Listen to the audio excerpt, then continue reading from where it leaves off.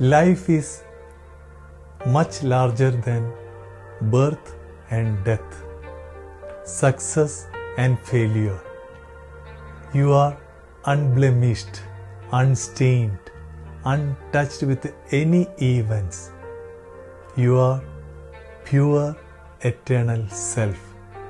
If you have this understanding, you walk like a king, you walk like a lion,